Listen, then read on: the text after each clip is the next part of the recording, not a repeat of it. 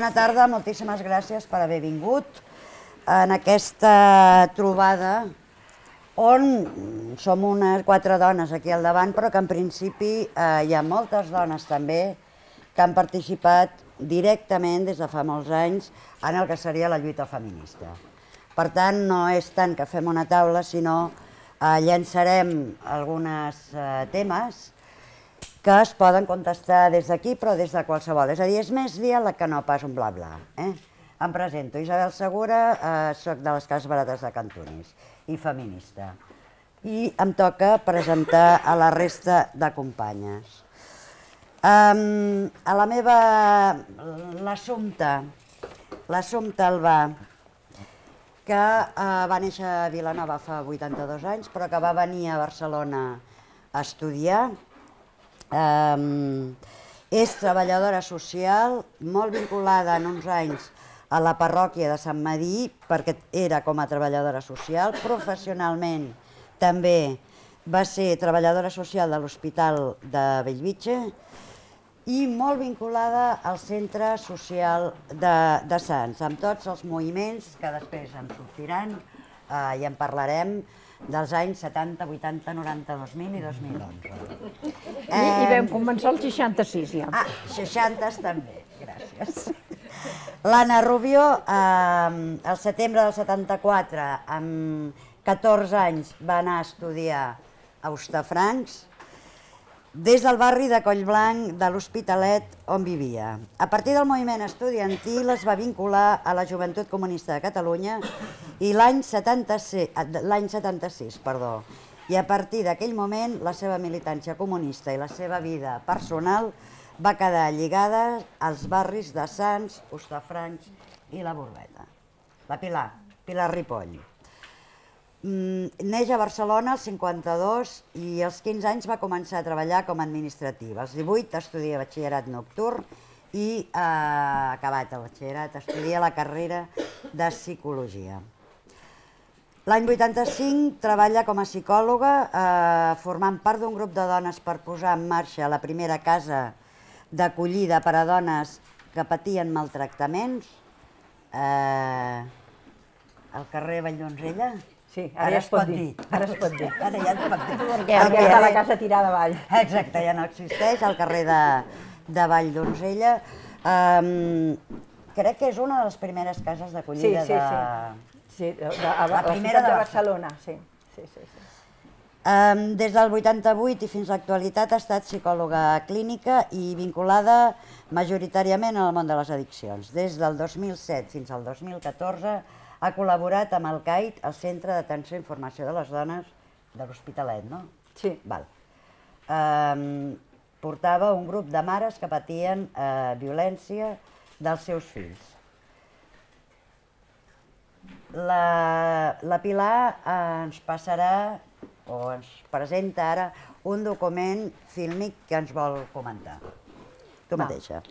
Doncs eh, passarem un, un vídeo que és un recull d'imatges i fotos d'aquesta època que vam estar a la vocalia de dones, on aquí hi han representades dones, eh, eh, i que, i que en l'any 2006 eh, va haver una, la, unes jornades eh, eh, de trobades de dones i llavors eh, vaig, vaig fer aquest recull que, que diem pues, eh, fem història. I, i llavors el, en el vídeo, mm, a part de l'època aquesta del 77, eh, per porto la xuleta perquè la memòria no d'això, des del 77 al 86, doncs també eh, eh, quan vaig fer 50 anys vaig fer una trobada en el Centre Social de Sants on eh, vam fer una exposició de material que teníem i, i vam fer una, una... I també surten imatges, ho dic perquè en el vídeo eh, eh, dirà, fa 3 anys, no, fa 3 anys no en feia 50, fa molts més que vaig fer 50, d'acord? I jo crec que és un document de partida que, que, que pot servir pues, per, per comentar.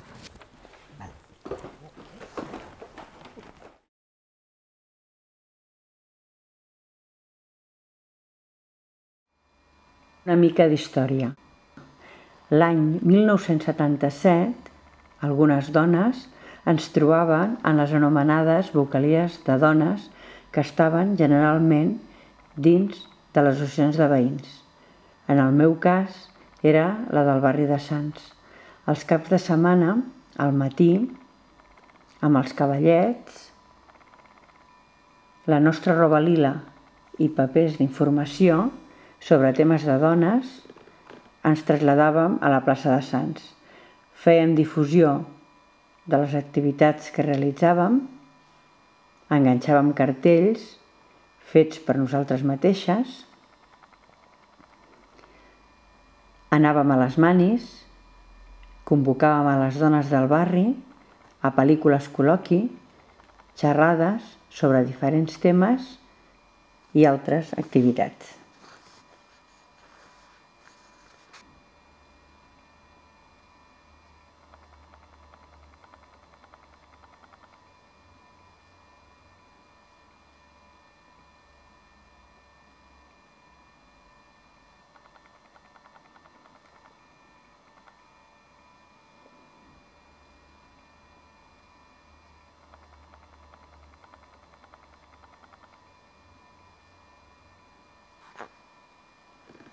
El divorci era una de les primeres coses en les que també vam participar. Manis al carrer, de les convocatòries generals,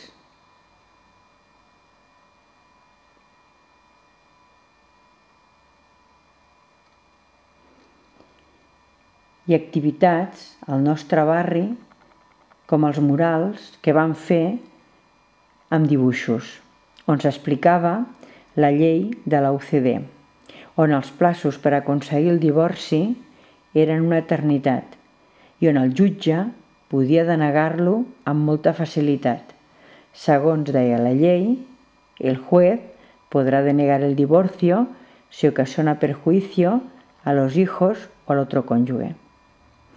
Moltes dones van patir aquella injustícia.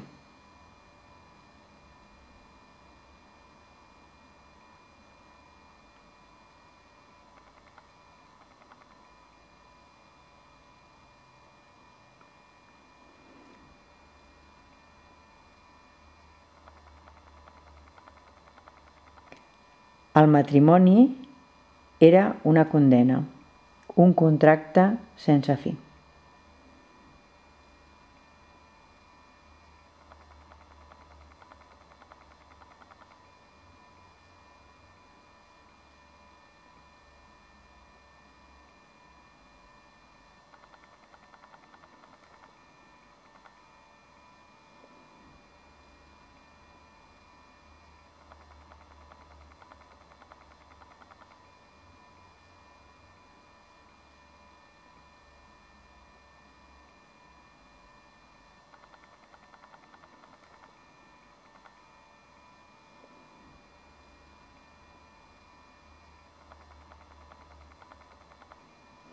Aquell dia vam tenir els vents a favor, doncs una ràfaga d'aire va trencar el paper precisament per la meitat.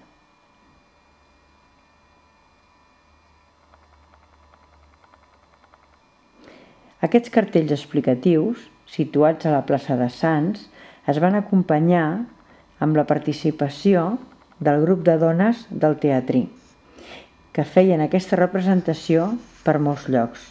S'acompanyaven amb la música de la Chiqui. L'argument anava sobre la realitat que la dona vivia, representant tots els estereotips.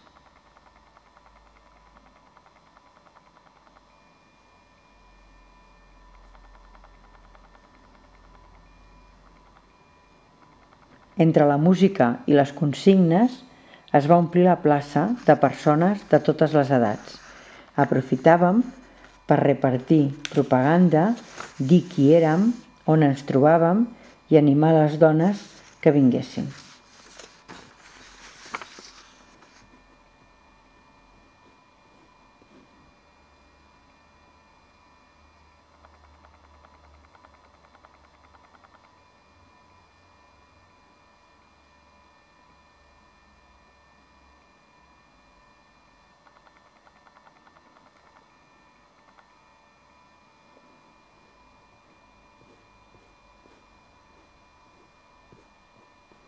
L'avortament va ser una de les altres lluites. Volíem anticonceptius, centres de planificació, etc. Pensàvem que la planificació no era cosa nostra només i que els homes s'havien de mullar també. Ens acusaven d'avortistes. Les il·legalitats es paguen cares, es feien carnisseries i, com sempre, qui ho patien eren les dones. Des de la vocalia donàvem informació d'adreces a Londres, Amsterdam i Perpinyà. Ens vam disfressar de prenyades i amb una furgoneta decorada per l'evento ens vam passejar per Barcelona, a la Rua, pel Passeig de Gràcia, per demanar centres de planificació.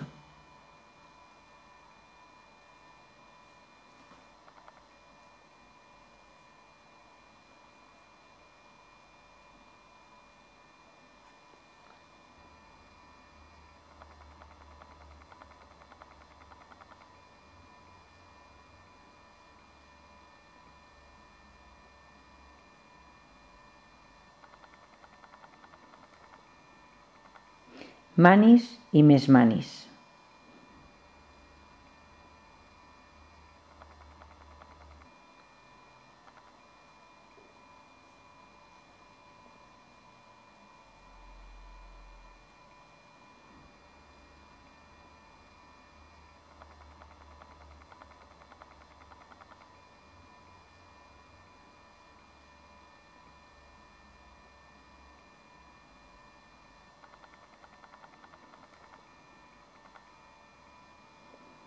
Un dia, algú se li va córrer segrestar un autobús. Tot de dones a la parada, amb parcartes que una vegada dins vam desplegar. La gent no pujava al veure els cants i les consignes que des de l'autobús es donaven. Una companya es va treure els sostenidors i els va penjar a una de les finestres de l'autobús. Xerrades sobre sexualitat, conèixer el nostre cos, temes de salut, la menopausa, en cartells més ben fets.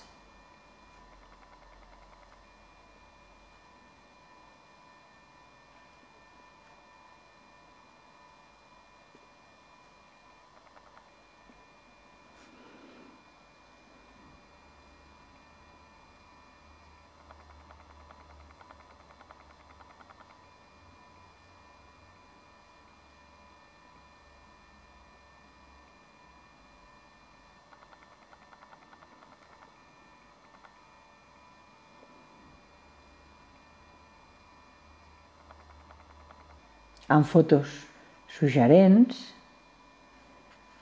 per animar les dones a que participessin.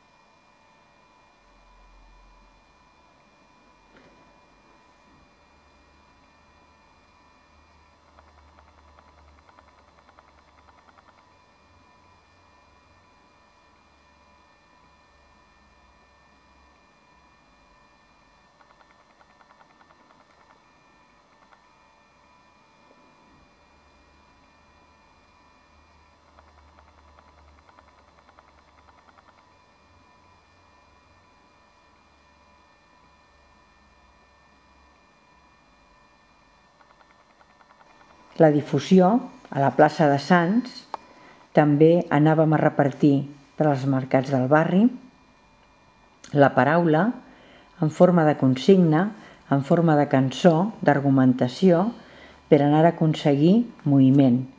Moviment per anar aconseguint que les coses canviessin.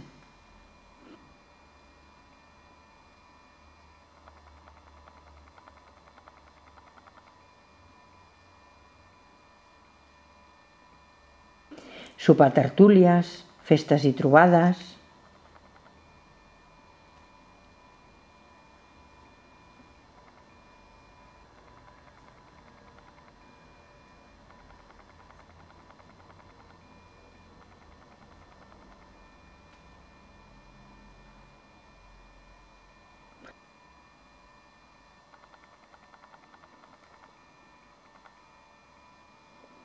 Totes al carrer per celebrar el 8 de març.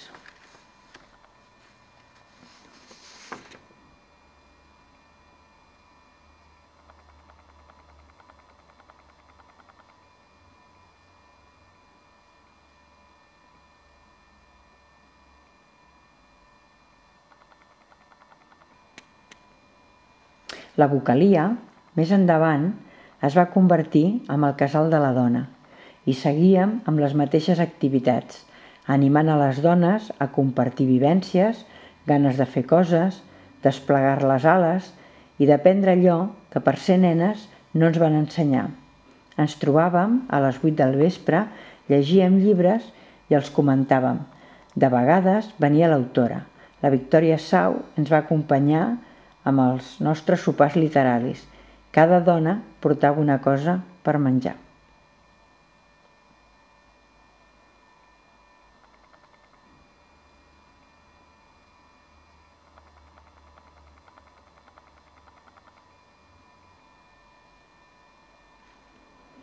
Concursos de fotografia, la dona vista per la dona,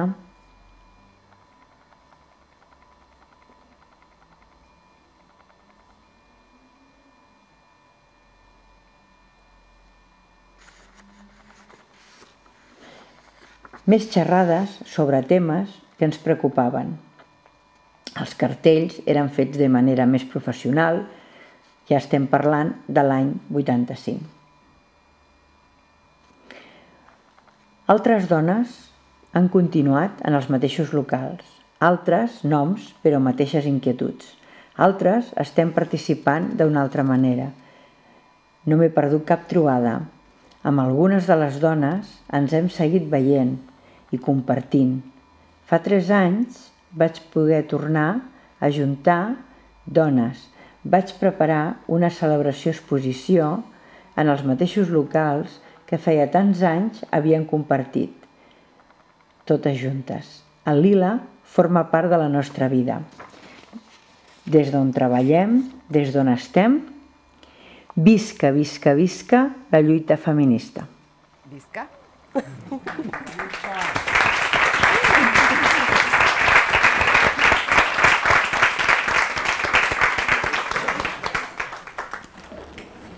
Uh, llançaré ara amb la dinàmica, llenço unes qüestions i anem contestant de la manera que sigui més... Uh, com vulgueu. Eh? La primera era uh, quins eren els temes claus que el moviment feminista va posar a debat en la dècada dels 70, una prèvia, una prèvia. El 76, és a dir, tot just l'any passat, vam celebrar els 40 anys de les primeres jornades catalanes de la dona. D'alguna manera, les Jornades Catalans de la Dona, que es van realitzar al Paranimf, va ser com un detonant, com un posar en el debat públic els temes que el moviment feminista considerava imprescindibles que si volíem construir la democràcia, feia un any que havia mort el Franco, si volíem construir la democràcia, les dones havíem de participar-hi. És a dir, eh, s'havia de comptar amb les dones per crear la nova eh, societat democràtica. La pregunta és, quins eren els temes claus que el moviment feminista va posar debat en la dècada dels 70? Contesta qui vulgui. Bueno, una mica en el, en el vídeo eh, surt, no?, que seria el tema del divorci, el tema de, de l'avortament i dels mitjans anticonceptius i dels centres de planificació, perquè clar, mm, tothom es pensa que en l'ambulatori i el ginecòleg ara i, i això no era així, sinó no, estava fora de, de la red sanitària, eren centres de planificació que les dones van aconseguir. Eh, aquest, do, aquests temes serien més i tema... O sigui, jo diria que aquests dos temes serien els que més en aquell moment i bueno, tenir consciència de com a dones, el, el, el, el rol que l'educació havia portat, això. Però bueno, aquí hi ha moltes dones que poden dir més coses, eh? també. Sí. Però jo diria sí. que aquest... D'aquests hem parlat i llavors després potser, com estem parlant de 40 anys, podem tirar una mica més endavant dels 70-80, no? I llavors jo crec que el, que el 90, per exemple, el tema, més que res per les companyes que treballaven en els, en els àmbits d'educació i tal, el tema de la coeducació apareix, i, i els, a mitjans dels 95, aquí al districte, per exemple, amb la Isabel, vam començar, vam començar a treballar els temes d'urbanisme i gènere, no? I va ser, jo crec que va ser en aquells moments en els quals jo potser estava més, més activa, eh, una mica la idea de, que, de com l'espai com la ciutat, com el territori determina la vida de les dones i com les dones, que una mica és el, el motiu, no? com les dones també podem dir coses sobre com s'organitza aquesta ciutat i com, com volem que sigui, per, perquè, bueno, una idea que encara per, crec jo que es manté avui, la idea aquesta de que, de que en, és la vida la que ha de ser el centre de les ciutats i dels, i dels pobles, no? Vull dir, una mica el tema d'urbanisme, nosaltres aquí el vam treballar, el vam treballar força. Això és més, més, més endavant, eh?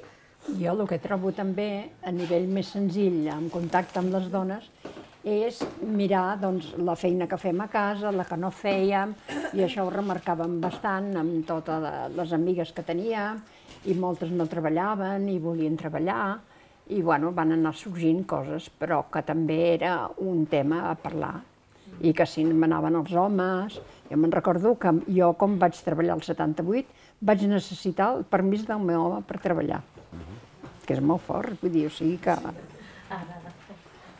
Sí, en aquell moment es feia urgent eh, coses molt elementals o coses que avui en dia doncs pensem que mm, són com més... Sí, volem barrejar-ho. Sí, sí, fem així. Sí, sí, No, sí. i tant, i tant. No, no, és que va d'això, no va de... no, Sí, escolta, eh, tira, tira, No, tira. vull dir que a- en un primer moment, en un primer moment el que es feia com molt evident és això, el tema del divorci, en tant que mm, jo mm, vaig ser conscient a posteriori, no? però mm, una, una amiga mm, ja molts anys després explicava, perquè en aquell moment no... Bé, no, no, no es va sincerar, no? però el fet aquest de que ella eh, estava casada, estava separada, sabia, mm, tenia una nova relació i va quedar prenyada. No? Té eh, la possibilitat de... En aquell moment ella no tenia possibilitat de posar-li el seu nom al seu fill perquè el seu, fi- el seu fill havia d'estar en nom del seu home. En aquest cas, eh, el seu home legal en aquells moments li, li estava bé, li era, o sigui, no, no l'hagués denunciada, però és igual per defecte, automàticament la llei la considerava um, bígama o Adúltera. adúltera i pel fet de ser adúltera anaves a la presó. Jo recordo que en aquell moment vam treballar molt el tema aquest de, perquè era un era molt fort, o sigui, podies anar a la presó. Hi havia, hi havia molts casos i la gent, clar, ho vivia amb silenci, ho intentava ocultar, tapar i tal, i ho resolia com podia. Però el, un cas de, jo sé d'un cas d'un diputat famós que el fet, el, de fet el, mm, bueno, penso que ell ho ha escrit, no? l'Ignasi Riera, les, la seva filla, com que la seva dona estava, bueno, vull dir, estava separada o el que sigui, però quan van tenir una criatura, la, la criatura va tenir els noms d'ell, però, o sigui, era de madre desconocida i de padre fulanito de tal. Llavors, en aquell moment era, mm, que ara ha passat 40 anys i no és molt temps, no, ni 40, perquè això eh, fins al 80 no es va estar resolt, o sigui, era, o fins al 86, era molt temps, vull dir, el tema aquest era, bueno, no sé, eh, eren coses molt, que ara te'n fas creus eh, i és com molt d'això. En aquell moment jo crec que hi havia emergències, no? O sigui, el tema de poder anar a la presó pel fet aquest de... I bueno, el que ha dit l'assumpte, o sigui, tu havies de demanar permís al teu home per poder treballar o per poder llogar un pis o per poder... O sigui, eres, no tenies drets com a dona i era, és bastant, bastant, bueno, bastant bèstia. Ho sento, no sé si el meu problema. Uh, puc, uh, intervinc, eh, també. Jo crec que la, la ha tret un tema uh, molt important, que encara d'alguna manera l'arrosseguem, eh, que seria el, el tema del, del treball domèstic. És a dir, què fem amb el treball domèstic? Treball domèstic. Hi ha una portada de la revista Vindicación de l'any 77, crec, o 78, que ha, no sé si la recordeu, hi ha una, la recordeu, una galleda, un guant de rentar plats de color rosa i la pregunta, és trabajo el trabajo doméstico? Jo crec que és un dels temes també que ha anat, eh, és a dir, que mantenim encara i li volem donar visibilitat perquè és un dels temes bàsics, és a dir, és un treball imprescindible per la subsistència de la, de la societat, però no es reconeix ni a nivell estadístic ni a nivell de, eh, econòmic. I que ara darrerament també les economistes feministes estan desvetllant aquesta trampa del discurs. És a dir, l'economia no és només l'economia de mercat. Economia és economia també de vida. I jo crec que una de les grans aportacions va ser també incidir sobre mm, la manera d'analitzar la societat i d'intentar descobrir certes trampes del discurs, dels discursos. Segona pregunta. Vinga. Vinga. Um, en els barris, ara parlant de barris, quines van ser les reivindicacions i mobilitzacions per la millora de la qualitat de vida als barris? Els espais verds, que això es va demanar molt amb els grups del centre social, hi havia grup d'urbanisme, i llavors ens volien fer molts pisos a l'Espanya industrial, per exemple, i llavors doncs, vam demanar molt que es fes espais per jugar, que a la zona de Sants apenes n'hi havia. I contra el pas a la barca a la plaça de Sants. Eh? El pas elevat de la... Ah, sí, el pas elevat que es va treure, el museu dels tramvies que volien i llavors hi ha el centre cívic. Eh, el museu del... Sí, ni museu del tramvia, sí. Sí, sí. Sí, sí. I tant. A mi també suggereix que quan parlem del barri, clar, a, banda, a més a més de, de, de, de lo que representava estar en, en urbanisme i en la modificació de la ciutat, però és que jo crec que com a dones van arribar molt més enllà, van aconseguir entrar a les cases, és a dir, en les relacions, en, van ser molt atrevides en aquest tema, no? perquè de repent er, eren coses que no, no, no, fins a aquell moment no havia succeït, jo penso, no? I de repent ho vam impulsar tot cap amunt i, i, i clar, moltes dones del barri es, es van sentir acollides. Jo recordo Sí. que van muntar també quan feien la, el recolzament amb, amb, amb l'avortament, que en aquest moment era absolutament il·legal, i Bueno, aleshores sí, això. assessoraven a les dones. Clar, això era un, Sí, era un acolliment molt fort que donàvem. transformació, no? Perquè entraves en les vides personals, entraves en les relacions, entraves en les cases. És que eren situacions molt dramàtiques, I bé, situacions sí. de dones que era, vamos, és que, i, i en perspectiva en aquell moment, tu tens una edat que, que, que no, no ets ni, ni conscient de, de lo que estàs fent, conscient de lo que estàs fent sí, però de la repercussió no, ho fas perquè s'ha de fer, perquè tal i qual. Amb, al, al llarg del temps és quan, ostres, és que, és que era una injustícia total, eh? era molt fort com es trobaven, que el metge deia, mm, bueno, en situacions, eh, i bueno, si no, doncs anar-te'n a, a qualsevol que, que fes una barbaritat. I després el problema de disminuïts, també, que hi havia el perill que quedessin embarassats i no es podia fer res en aquell moment. Res de res, i això i la, els pares ho patien moltíssim.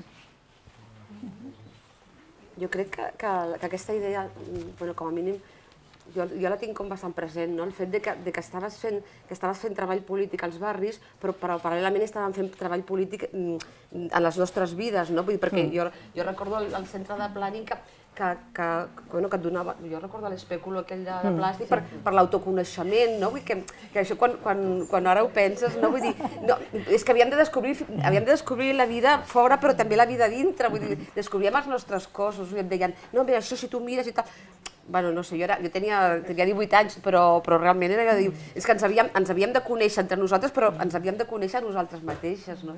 És una, eh, canviàvem els barris, però també canviàvem les nostres vides, evidentment.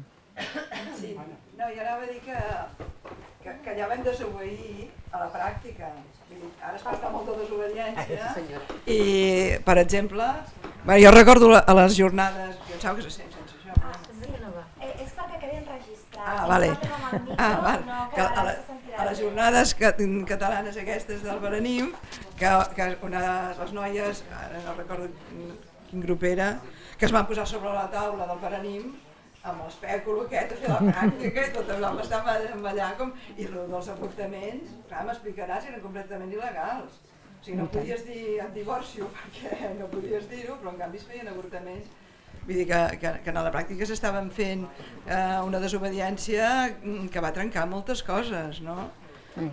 I, I després jo al, al 76 sí que estava aquí, després a partir del 79 vaig estar eh, visquent uns, més tants anys a Madrid i allà per exemple en un barri, en un barri mm, obrer i bastant, bueno, bastant allunyat del centre i les dones que venien en, en el grup de dones clar, era cada dona que venia era un conflicte familiar que es representava, això també va ser molt important o sigui, com es gestionava, les, o sigui, n'hi havia unes quantes que no teníem cap conflicte, però les dones que treiem i que venien, cada una allò representava què, què, què, què, què vas a fer allà, no? Que, que, això, això també era molt, o sigui, com es gestionava a partir dintre del grup eh, la reconversió d'aquell fet familiar. Has parlat de... has tret el tema de desobediència, realment era desobediència a molts nivells, el model que ens volien imposar a nivell legislatiu, a nivell de pràctica de la relació entre els sexes, etc etc. Eh, crec que ha sortit també en les teves imatges el... Jo vaig connectada. El, el tema del... Eh, un tema... El, el de gaudir, és a dir, eh, era un espai, ha sortit molt en, el, en les imatges teves, és a dir, era un espai de desobediència però, i d'insubmissió, però era un espai també i molt de, um, de diversió en el millor sentit de la paraula. És a dir, tot, tota revolta implica també, és a dir, és una revolta perquè hi ha desig de canviar les coses, i és també una festa, té alguna cosa de festa. Mm. Esteu d'acord o va ser molt sí, sí. dramàtic? No, no, el, el tema és que, i l'energia que, que posaves perquè ens, ve, ens trobàvem cada setmana a les 9 del vespre, era la trobada, a les 8 hi havia, un dia hi havia allò de l'assessoria jurídica que era de 8 a, a 9, em sembla, o de 8 a 10, em sembla, i després un altre dia que era el tema de la informació pels temes d'avortaments, que també era de, de 8 a 9 del vespre. Després a les 9, o sigui, que se'ns feien les 12 tranquil·lament, i l'endemà tothom a treballar i després a estudiar. Que, vull dir que, o fer el que sigués. Vull dir que vull dir, és, és aquesta cosa en què, en què, que, que, que és com una transformació de, del barri en quant a que es, considera, es aconsegueixen millores i tal, però és una transformació personal, aquesta transformació que després tu la portes a la teva vida professional. Vull dir que, que jo quan vaig començar en tema de dones i addiccions o així, pues, pues, bueno, el paper de la dona i les addiccions, la diferència, tal, perquè, perquè portes aquesta mirada, no? Jo penso que això és, és important. Però veritablement, bueno, no sé el que diran la resta de companyes, però sí. jo m'ho he passat molt bé. molt. Totes ens ho hem passat molt bé, eh? Totes. I ens ho seguim passant. I ens, ens anem reunint, i tant. Com ens va canviar la vida, el moviment feminista? Jo penso que a nivell personal, doncs, poder entendre eh, unes inquietuds que tu tenies, una manera de veure les coses i pensar que no eres extraterrestre. I llavors, doncs, jo, per mi seria una mica aquesta cosa de... de, de perquè, clar, el teu entorn mm, doncs, eh, tenia unes visions de lo que et tocava a tu fer com a dona mm-hmm. que, que uf, llavors era... Llavors, bueno, doncs era això, no? A nivell dels fills, jo que tinc un fill, ha costat bastant, perquè volíem que, que passés pel tubo i no hi havia manera, saps? Els teus fills? Sí, la, el fill. El fill. El noi, que jo volia que fos, doncs, espavilat, que fes el menjar si convingués. Ah, val, val, val, val, espavilat. Has triomfat, no? Ho vas aconseguir. No. Estic frustrada. Frustrada. frustrada. No, no. Eh, què diu? Jo no puc dir el mateix, Què eh? diu l'Ester? Què Jo no diu? puc dir el Que fa mateix. cuscús, diu. Ah, bueno, doncs. Jo, Jo no jo no sé si m'hi posaré en un jardí, però algunes, algunes ho vam tenir... Vull dir, no sé si m'hi poso en un terreny que no res fiscós, però bueno, és igual, m'arrisco. Algunes ho vam, vam, vam patir una mica. En, el- en les organitzacions, en algunes, en la que jo conec d'organització política, vam tenir... No va ser fàcil, perquè, perquè la lluita... eh, Teníem clar els temes de no sé, ja- en aquell moment no sé si li dèiem feminisme, però en tot cas eh, volíem, te- que teníem clar quins eren els drets de les dones i què és el que volíem aconseguir, però estàvem en una organització mixta en la qual la, la, la presència masculina era, era molt important i a vegades no ens ho passàvem bé. La- eh, Anna, eh, explica una mica més, perquè... És... Què vols dir? Què vols dir? No, perquè Anna? que no ha estat, que jo crec que no, que, que aquesta idea de que, de, de que hi havia coses molt importants a nivell polític, a nivell social en, aquell moment, en aquells moments, i, bueno, igual que ara, no? però sempre hi ha coses que potser passaven per davant o que eren prioritàries, vull dir que, que potser quan, quan aconseguíssim doncs, la llibertat, l'amnistia, l'Estatut d'autonomia, moltes altres coses, doncs millor després podria venir, podria venir la igualtat entre homes i dones, no? I, i això mm, algunes, jo, jo era més jove, però, però algunes va, va costar, i, i bueno, no sé si va costar, no sé si vam aconseguir, ho vam aconseguir, no sé, hem anat sortint i entrant i no sé si encara hem aconseguit, perquè a més també veies, ve- veies bastant la incoherència de que tu estaves treballant per uns temes o, o et semblava que, que havíem d'assolir eh, una, unes determinades quotes de, de representació en les organitzacions, i, però després la vida quotidiana a les cases, mm, no, vull dir que potser els companys, homes, en el, en, la, en, el, en el treball polític i tal ho entenien, però mm, si pensaves una mica què estava passant a les cases d'aquells companys homes, doncs mm, entraves en contra... Se'm posa la cara de gallina perquè és un tema que encara ara no el tinc resolt. Eh? Isabel, que això que has plantejat de, de l'economia de les cures, eh? situar què és l'economia? I a què se li ha donat la importància d'un tipus d'economia? I que el que plantegem és que és l'economia de la vida, l'economia de les cures que es parla ara, crec que té molt a veure amb el que parla l'Anna, que jo també ho he viscut, que podia haver-hi molts homes eh, militant i lluitant, companys, però que a l'hora de la... després quan senties, anaves a casa seva i quina era la situació de les seves dones, eren les seves dones que feia, i que ells podien tenir aquesta situació de militància i, i de lluitadors perquè havia unes dones que continuaven fent aquell paper i, sí. i això també ho he viscut eh, no sé si de passar-m'ho malament però sí de discutir moltíssim molt, molt, molt, molt i justament per, sense lo millor tenir en, al principi de tot jo soc de Madrid i també havia viscut algunes de les coses que has dit sense tenir a lo millor sensació de considerar-me feminista. Parlo de quan tenia 15-16 vaig començar a militar als 14 no em considerava feminista però sí que vaig començar a veure que aquest era un tema que per mi era important. I jo tenia una família que m'entenia i per tant encara que fos una, una noia eh, doncs podia arribar tard o no arribar tard o fer coses, no? però quan veies les altres realitats era molt, molt emprenyador. Jo això també ho havia viscut amb la Joc, que més aviat buscaven homes una mica tonte... dones tontetes perquè així ens poguéssim anar.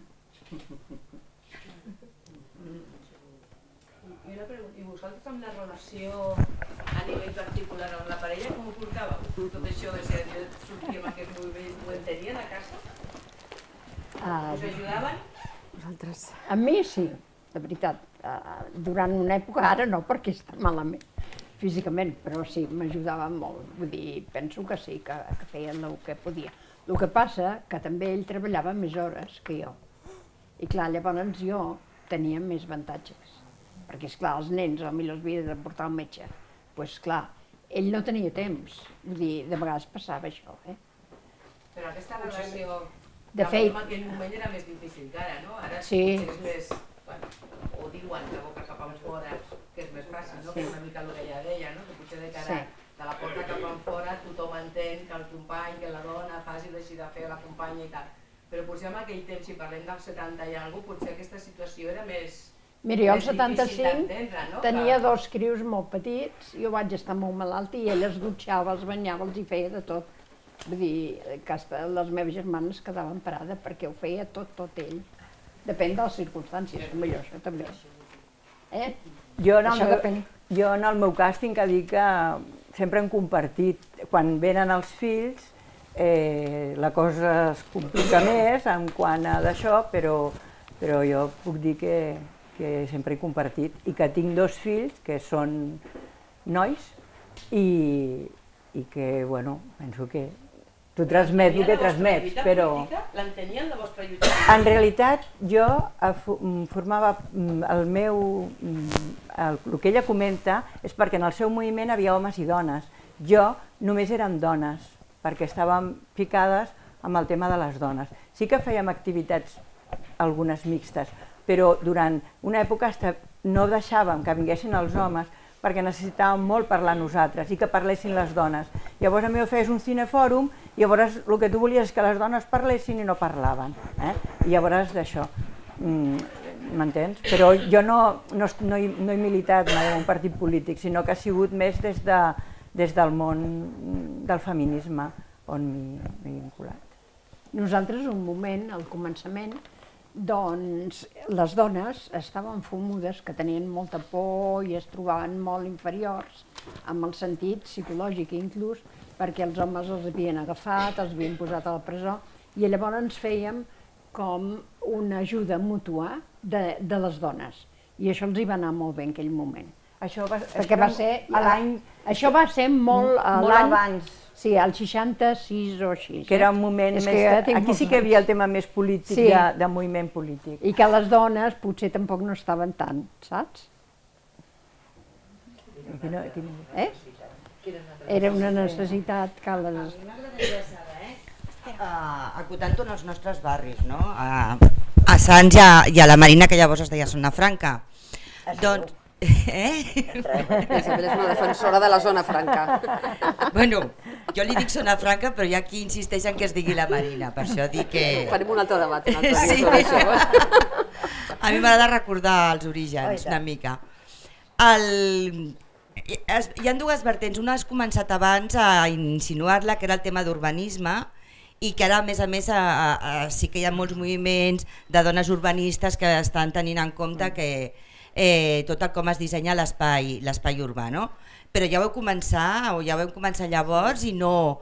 I sembla que encara estiguem al mateix, encara dient com han de ser... Per això vull dir que, que m'agradaria que comentéssim una mica això. I després la vida quotidiana o la vida del moviment feminista en els barris, eh, en els nostres barris, de quina manera, a més a més de les nostres famílies o les nostres vides personals, com incidia també la resta del barri, no? de quina manera també anàvem fent consciència mm, a nivell ja més particular de barris. Eh, et contesto per la banda d'urbanisme... Ah, no, que jo vaig connectar. Sí, això és el que has dit. bueno, anava connectada. Uh, jo sóc d'aquest barri que ara diuen, ja ho he dit al començar, la Marina del Prat Vermell, en definitiva, sóc de les cases barates, reivindico cases barates i reivindico gent blanca. Ens volen d'alguna manera oblidar també aquest passat, no? Probablement per una operació urbanística, com sabeu, que és vendre pisos del Banc de Sabadell a la, a la zona de la Marina del Prat Vermell. Cases barates de Cantunes. Eh, vam començar fa molts anys... Bueno, jo la meva experiència per, mm, personal amb el tema d'urbanisme, l'any 80, 1980, a les jornades de feministes independents, eh, l'Anna Bofill, arquitecta, va fer una comunicació que es deia, eh, no t'ho sabria dir, eh, però l'arquitectura des de la perspectiva de les dones o l'urbanisme. Jo sé que en aquell moment em vaig quedar prepé, perquè el tema de, de ciutat sempre m'ha interessat molt, el meu pare era paleta, m'ensenyava i em portava de passeig per Barcelona i m'explicava coses, i la pregunta era um, on posem les dones en aquesta ciutat que ens han explicat, però sobretot eh, el que plantejava l'Anna Bofill en aquell eh, moment i que després ho ha, ho ha expandit, era eh, les ciutats no són neutres, cal tenir present l'experiència de les dones per adequar les ciutats a la vida quotidiana. Això és una mica... I vam treballar durant anys, que aquí ens vam conèixer unes quantes, amb temes com el tema de mobilitat, el tema de seguretat, percepció de la seguretat, el tema d'habitatge, per pensar que no tots els col·lectius familiars són papà, mamà, nen i nena, sinó que hi havia ja en aquells anys diversitat de col·lectius familiars i parlàvem del tema d'urbanisme. Eh? De és a dir, del que jo crec una mica també des dels barris, des de la lluita dels barris, vam posar sobre la taula, és a dir, era un model de ciutat en aquells anys eh, del que se'n diu que practicava la zonificació, és a dir, zona franca, zona industrial, eh, nou barris, habitatge, i aquí una mica d'habitatge. Llavors aquesta idea de, de ciutat que el que fa és potenciar desplaçaments, despesa energètica, despesa econòmica, eh, qüestionàvem aquest model de ciutat i llavors el que treballàvem era la idea és una mica el que s'està dient ara, ciutat de proximitat, serveis de proximitat, és a dir, és un model obsolet el, de, el que es practica a Barcelona anys 60, anys 70, anys 80, i ara, eh, des de la perspectiva de les dones i des de la perspectiva eh, feminista, és pensar que és possible un altre tipus de ciutat. Eh? Per tant, jo crec que des de diversos sectors anàvem qüestionant aquell model de ciutat que eh, creava molta discriminació. Jo he contestat aquesta part, però tu feies més. No, més com temes. incidia la vida, eh, la vida el, el militar moviment feminista i la vida personal, les, les expectatives personals i, la, i la, la realitat personal amb la transformació, poca, això té incidència en els barris, en el teu voltant, en el teu eh, a l'entorn pròxim, no? Com, d'alguna manera, com va incidir o quines conseqüències va poder tenir per Sants i, i per la Marina, no? Mira, nosaltres estàvem en un grup del Centre Social de Sants, que estàvem al grup d'urbanisme. I llavors hi havia homes i dones. I tot això que et dic de l'Espanya industrial, de, de moltes coses del barri, doncs ho anàvem fent en aquell moment tots junts. Vull dir, nosaltres inclús recollíem firmes, perquè les dones, com que són més pancones, doncs recollíem firmes de casa en casa i tal. Vull dir que havíem fet molta cosa en aquest sentit, saps? El que passa que el de la incidència, en, el, el que hi hagi en un, en un grups de dones que reuneixen, que fan aquesta pancarta, aquella pancarta que heu vist pintada i tal, allò era a Sant Madí perquè ens deixaven el, el, el, el local per poder fer la pel·lícula, tal, doncs tot això fa que, que, que, bueno, que, que hi hagi un moviment. I, i el que se'n diu ara de l'apoderament, es diu, no? En aquell moment no, no era la paraula, però està claríssim que, que, era, que era això. Era això. I això fa transformar. Perquè si una canvia, i és una la que té que canviar, si una canvia, l'entorn que t'està canviant. Això, segur. Jo tinc una pregunta també que m'agradaria.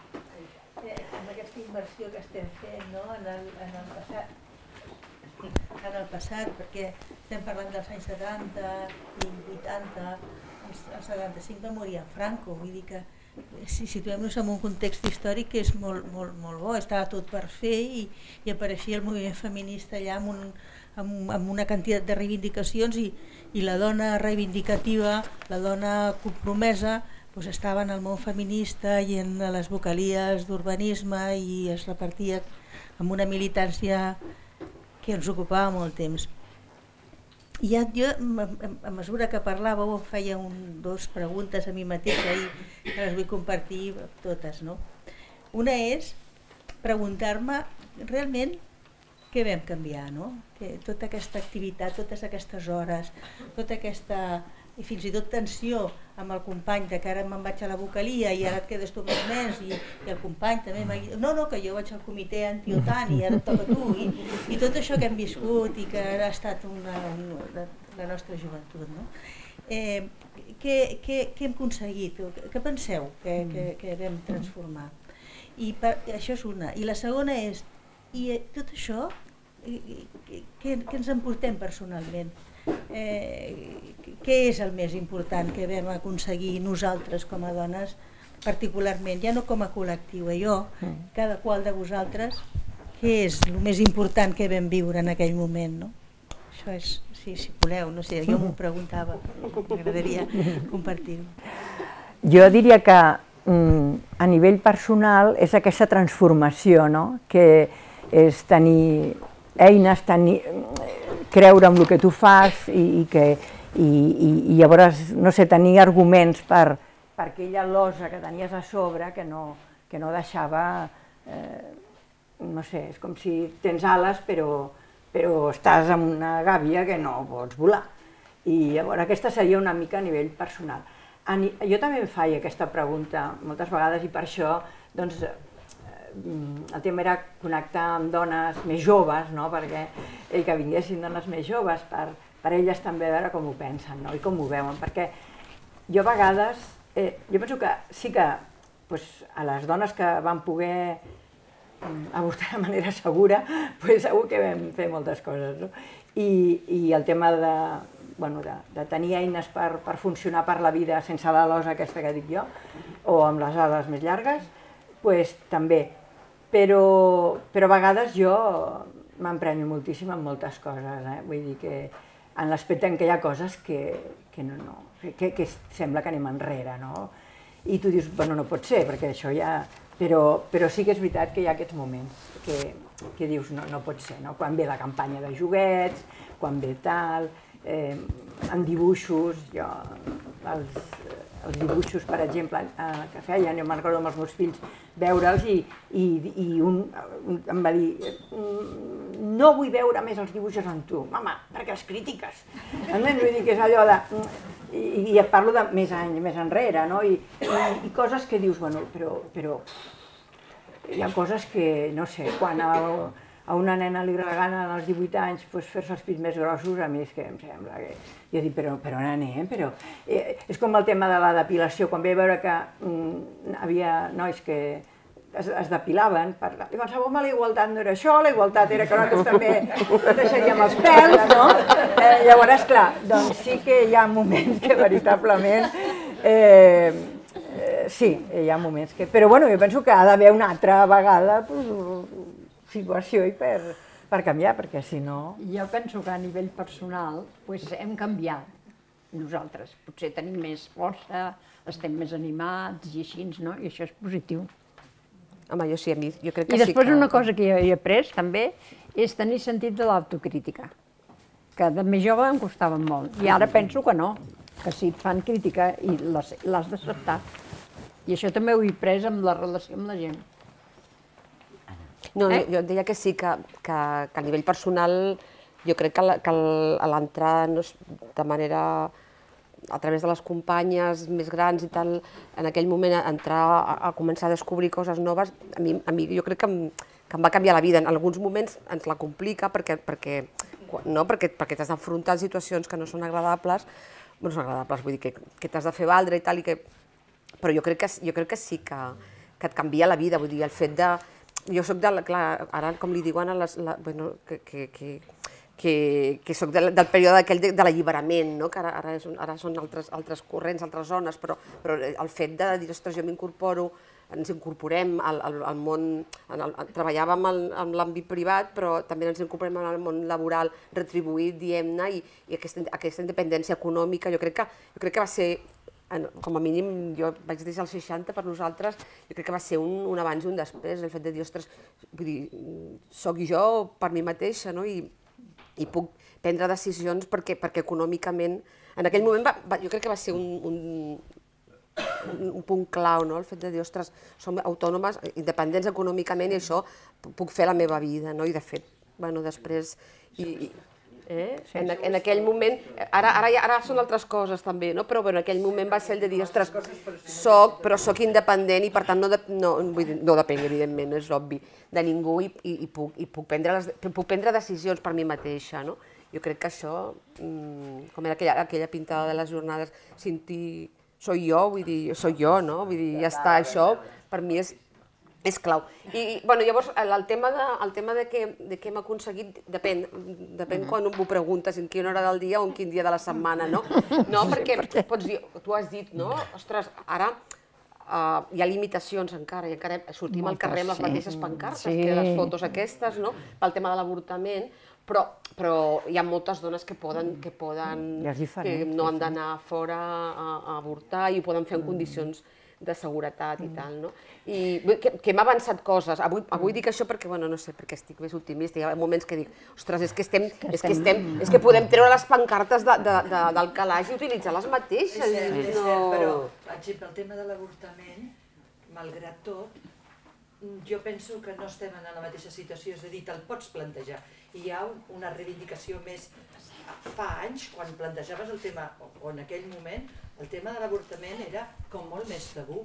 O sigui, eh, solament el fet de plantejar-te'l, de, de poder dir, és que jo vull avortar, o sigui, ara pots, hi ha campanyes, en aquell moment les campany, la campanya de l'avortament era més minoritària, la gent és veritat que es veia obligat a avortar i en molt males condicions, però tam també d'una forma molt amb molt més silenci. Actualment, si, si la, tot el, bueno, la, el, les lleis aquestes que d'alguna manera volen limitar l'abort hi ha molta més, re, molta més capacitat de, de fer-hi front. La situació ha canviat substancialment. Una altra cosa que sí que és veritat que moltes coses, sobretot aquestes coses com més mm, subtils, o sigui, tot això de, que tu has comentat dels dibuixos, eh, els contes, els mil coses, eh, hi ha, hi ha, o el fet de que les dones, o sigui, el sostre de vidre hi és en molts temes, no només amb el fet de que les dones ocupin llocs, hi és en molts temes, o sigui, sembla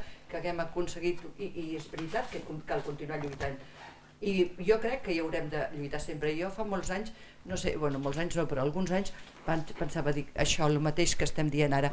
Això retrocedim i això, i em penso que va ser una xerrada amb la Juliano, la Dolores Juliano, deia, és que en el moment que deixes d'estar amb actitud de d'alerta, o, sigui, o sigui, sempre, o sigui, el patriarcat hi és, i si algun dia el aconseguim eh, mm, això, eliminar seria diferent, però mentre existeixi és una lluita constant, constant. Per tant no pots eh, defallir, o sigui, no pots pensar, perquè és un toma i daca, o sigui, en el moment que tu retrocedeixes et, et, et prenen la de...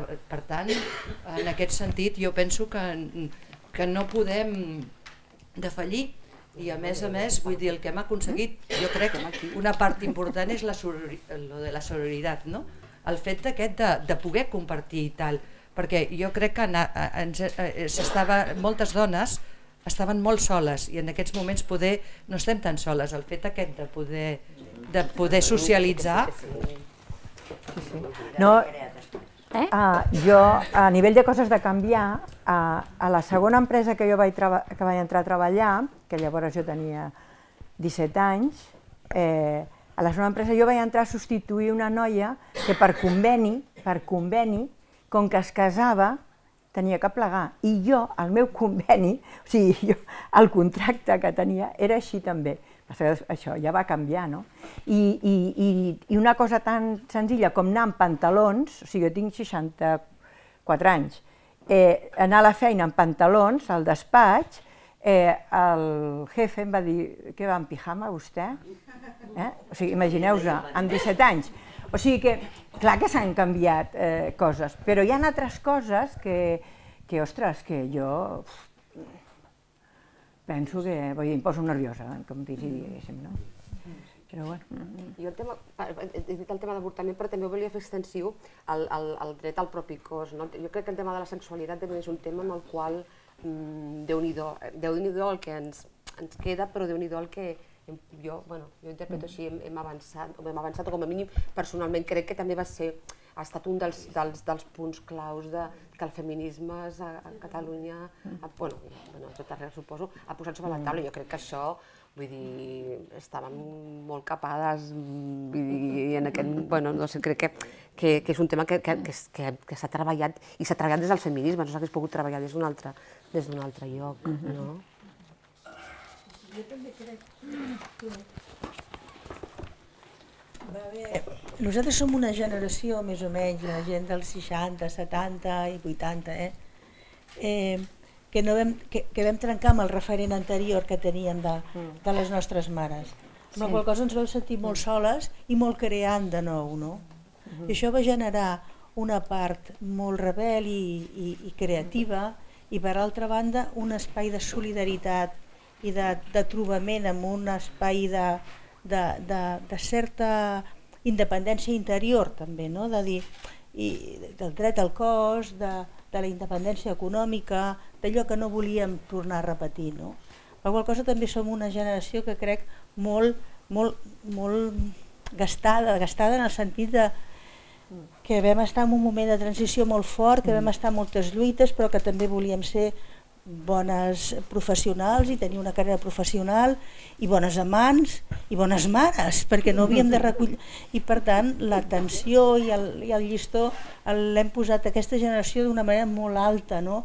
molt alta. De tot, i, I ara que som grans, doncs, doncs quan hi veus dius, bueno, sí que crec que vam canviar coses, òbviament. Recordo les jornades de l'avortament on vam fer avortaments il·legals, això era molt risc, és d'una gran valentia, i era una festa vam anar a reivindicar una cosa de manera profunda i radical, no?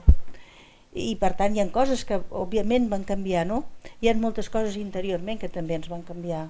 I, i jo també estic d'acord que una de les coses més importants és més importants almenys per mi és el dret al, al propi cos, no? a, a qui sóc jo com a dona sí. i, que, i quin paper vull jugar en el món com a dona. No? I, i això, aquesta reflexió és compartir. La carn. La carn. A veure, quan, quan pensem en el que hem canviat, jo diria per un cantó, quan tu deies la sexualitat, però jo voldria dir la, vis la visibilitat del lesbianisme i les dones transexuals actualment. O sigui, això sí que és un canvi eh, terrible en quant a, a altres formes d'acceptar altres formes de família, altres formes de relació i per una altra banda a mi sí que em sembla, quan diem que hem canviat, jo diria les relacions entre dones. És a dir, aquestes relacions de solidaritat i que normalment les dones són vistes com enemigues i que el feminisme això ho, realment ho ha canviat molt i per altra banda també jo diria a nivell d'educació. És a dir, les nenes, nosaltres, totes nosaltres, hem anat a escoles de nenes. No hi havia nens i nenes barrejats. Jo els tenia barrejat, perquè al barri no hi havia espai i llavors estàvem barrejats. No, doncs no, no, no, no, no, no, era jo... a la mateixa aula. No, però no, era per això, eh? Pues vas, no, no, per espai, jo, eh? Pues vas tenir sort. Jo volia dir a l'assumpte, que sí. no es dona gaire valor, ella, pues l'Assumpta va fer la primera guarderia del barri, amb Mira, altres dones, sí, bueno, perquè sí, no n'hi havia. Exacte. I la meva filla pues, va anar Una guarderia, guarderia del barri. Sí, sí. Bueno, dues se'n van fer en aquell moment. Sí, o sigui, i que era terriblement important. I com ha canviat, o sigui, nosaltres mateixes, o sigui, per exemple, de, de ser un grup de pares i mares que ens ens ajudàvem a, anar a buscar les criatures col·lectivament i uns dies els tenia un i un altre dia els tenia uns altres, però això era el més normal, en el nostre entorn polititzat, eh? Sí. Però, però bueno, i això dona una altra visió de lo que són les relacions pare-mare, eh, germans, germanes i, i l'amistat, o sigui, i que continua continua amb uns lligams molt forts.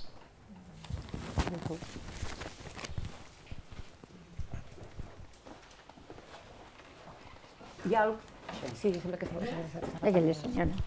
No, era preguntar-vos una mica, la, aprofitant també que hi ha gent de, de periodisme per aquí, les relacions amb els mitjans de comunicació, no?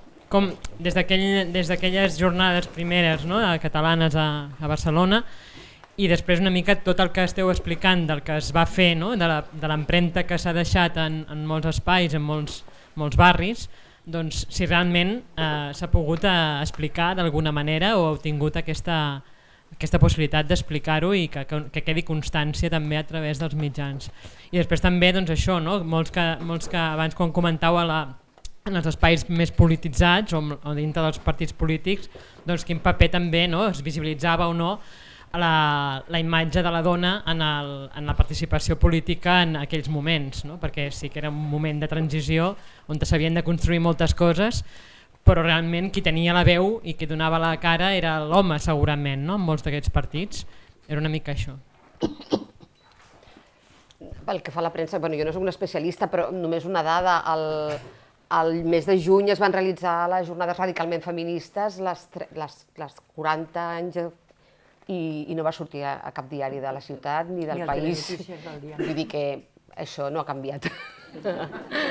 eh, jo crec que quan més organitzades estem i quan més potents som, més, més in, intenta, intenten invisibilitzar, lògicament, perquè bueno, és, és la meva opinió. Eh? I, bueno, i pel que fa als partits, no sé si ho he entès bé, però hi havia, hi havia dones, hi havia homes, mm, segurament, eh, segurament segur, els homes eren, eren majoritàriament i estaven en els càrrecs de direcció, segurament més, però per mi el que, és, el que és rellevant és que hi haguessin homes o hi haguessin dones, les polítiques no, tenien, no eren feministes. Per tant, és igual que les fessin els homes o les dones. El meu, és la meva experiència, eh? jo no estic sentant càtedra de res, perquè cadascú ha viscut mm, experiències diferents, però la meva experiència era que encara, que, encara que hi hagués hagut el 50 i el 50, la qual cosa dubto que fos en aquell moment així, les polítiques no eren feministes, per tant, és igual que les fes. Mm, amb respecte als mitjans, eh, aquesta dada és important, és a dir, les jornades no va aparèixer res. Jo vaig treballar durant uns quants anys a l'editorial feminista La Sal, que publicàvem llibres. I recordo eh, dones periodistes, dones periodistes, que van fer un seguiment molt eh, acurat de tots els llibres amb molt de respecte. Dolors Palau, que va morir, eh, Mercè Ibars, que continua en actiu, i algun altre, però també diria que els mitjans esperàvem allò que tanquéssim. Només hi va fer, és a dir, alguns diaris només van parlar de la sal, edicions de les dones, quan vam baixar la persiana. Eh? I això jo crec que és una mica eh, una, un, un criteri bastant general, és a dir, mentre s'estan produint els esdeveniments, hi ha molt poca atenció en tot el que són activitats, siguin de caire polític o siguin de caire creatiu, que és el mateix, eh? la, la creació també és política, respecte a l'aportació cultural de les dones, en general, en general. Partits no et puc contestar. Jo, si voleu, us explicaré una mica com va sortir a les, les escoles Bressol. Pues érem un grup de dones d'allà al barri que teníem ganes de treballar, algunes d'estudiar, i eh, teníem fills, no sabíem com muntar-ho i tal. I llavors vam fer unes enquestes al barri preguntant a veure si això podria ser, perquè llavors no n'hi havia ni una al lloc, al lloc. O sigui, que això era l'any 66 o així. I llavors bueno, es van fer, eh, van sorgir unes persones molt voluntàries, homes inclús pintant-ho, dones que no es, no pagava, no es cobraven de moment, i bueno, vam anar-ho posant fins que va arribar que es fessin les escoles aquestes públiques, que hi va haver-hi també molta lluita, molta, o sigui, va costar molt, però bueno, es van aconseguint. Jo penso que molts esforços que es van fent, doncs es van aconseguint. Vale. Eh, D'alguna manera ens demanen allò que tanquem darrera qüestió en uns 5 minuts. Quins són els reptes i els desitjos, sobretot els desitjos, que en aquests moments tenim? Si voleu, comenceu vosaltres i després. Els desitjos jo, Sí. que hi hagin forces noies joves que tinguin ganes de treballar, perquè nosaltres ja som molt velles. Jo ja, ja tinc 82 anys. Eh? eh? Aquestes noies jovenetes que haurien d'estar... Estan, ja estan, ja estan. Tancant molt, ja hi són. Sort que n'hi ha algunes, i me n'alegro. Oi, la manifestació d'ahir? Ah, bueno, això. Sí, la manifestació m'han dit que era, bueno, que tot hi havia gent jove. Doncs jo, si hi ha grups de dones aquí, jo penso que seria bo donar la paraula a aquesta gent més jove que està aquí, una mica que diguin quan es reuneixen i quan fan aquestes coses, i no sé per què, si hi ha gent que, que d'això, no? Eh? Jo, perquè a mi el futur aniria una mica també cap aquí, no? Cap a... Que soy nuestra esperanza. Sí. esperanza pesa, ¿eh? Molt bé, això està molt bé. Eh? Està molt bé. sí que participo a la taula de dones, que, que portem ja dos anyets, i també participo al col·lectiu de feministes Zona Franca, que bueno, en aquest moments estem en hores baixes però seguirem allà al peu del canó. Eh, nosaltres a la taula de dones som un col·lectiu que, bueno, som una taula que està ple de col·lectius, ara mateix no sé quants, quantes som. A les reunions ens juntem 20, eh, en, ens, ens ho passem superbé, no? A vegades, a vegades es queden punts sense parlar, però bueno, també és, ens reunim, ens coneixem, som amigues també, llavors pues, crec que és molt important. Ara estem preparant les jornades de, del 8 de març, que les farem el dissabte a la plaça Marina.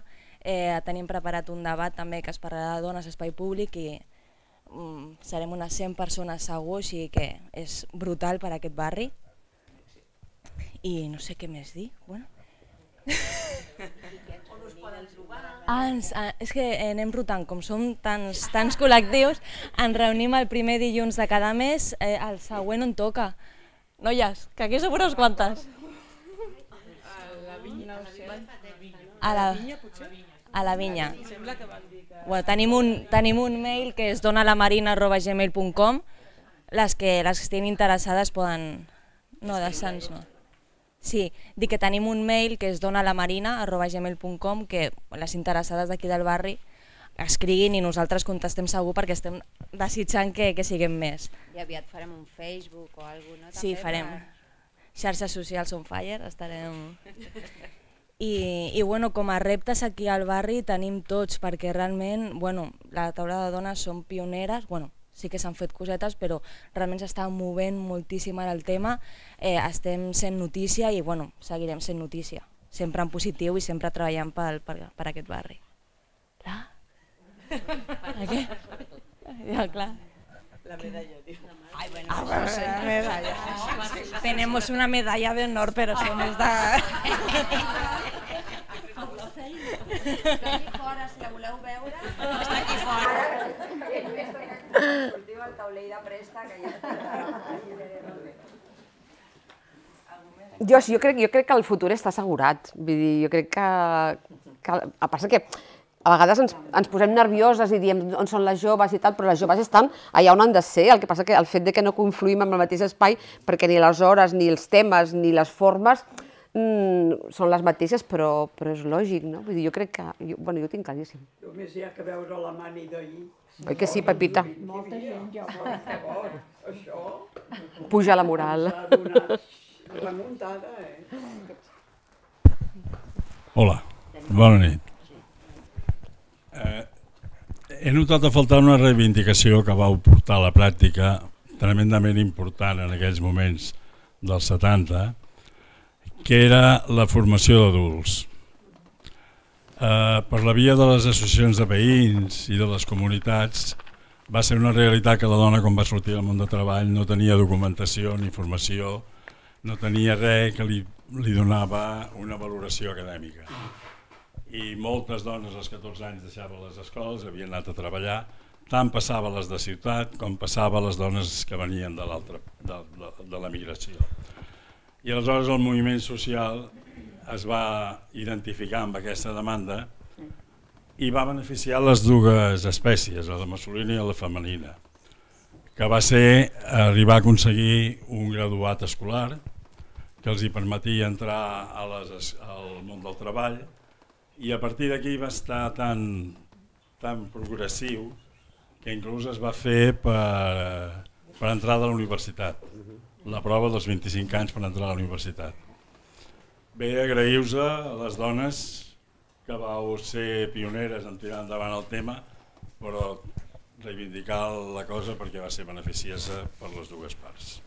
Com tot el que fem. Tot el, no, Sí, sempre va per, és per homes i dones, al final, no? Perdeu. No, això no. La lluita feminista és per millorar. La vida, Ah, és per millorar la vida.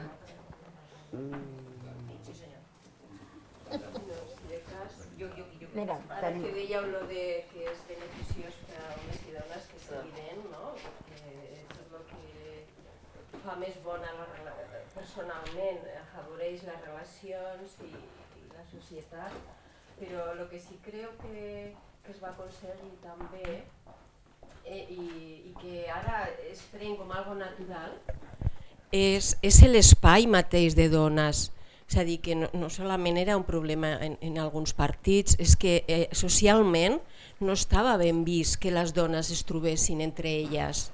No estava ben vist, va ser també un, una lluita no? i un empenyar-nos en, que, en crear en aquells espais i bueno, pues no, no ho veien bé eh, ni els sindicats, no el veien bé de vegades ni les associacions de veïns i, i, bueno, i, i ara aquestes trobades que, que moltes dones estan fent en altres llocs, en els barris, dintre de les feines, dintre portar aquesta lluita que ara sembla com algo molt natural però també va ser algo difícil d'aconseguir, no? van ser molt criticades per aquest tema.